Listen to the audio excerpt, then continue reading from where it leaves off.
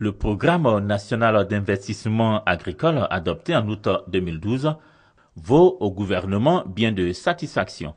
Pour le programme évalué à 2002 milliards 818 millions de francs CFA, un peu plus de 2040 milliards d'intentions d'investissement ont été obtenus en septembre 2012 auprès du secteur privé et des partenaires techniques et financiers. Le programme connaît un début d'exécution assez prometteur. Nous sommes donc aujourd'hui à environ 719 milliards de francs CFA qui ont mobilisé effectivement et qui est en cours d'exécution.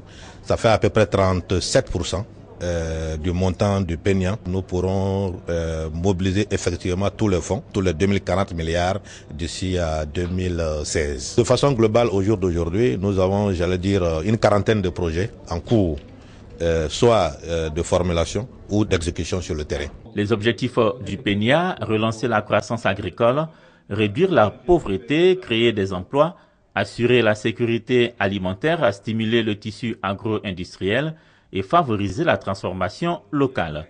Avec l'installation officielle par le Premier ministre du Comité national de pilotage et du secrétariat technique, les deux organes dirigeants du programme, le gouvernement se donne les moyens d'atteindre les objectifs qu'il a fixés au PENIA. Ces deux organes, on l'a noté, sont composés de représentants de la présidence de la République, de l'administration publique, du secteur privé, de la société civile, des organisations agricoles, des organisations non gouvernementales ainsi que des partenaires techniques et financiers. La mise en commun de ces compétences issues d'horizons divers devrait permettre d'appréhender le niveau d'évolution réelle et de mise en œuvre du PNIA, les effets sur les populations, les difficultés et contraintes majeures, ce qui favorisait bien sûr la prise de décision par le gouvernement et le président de la République.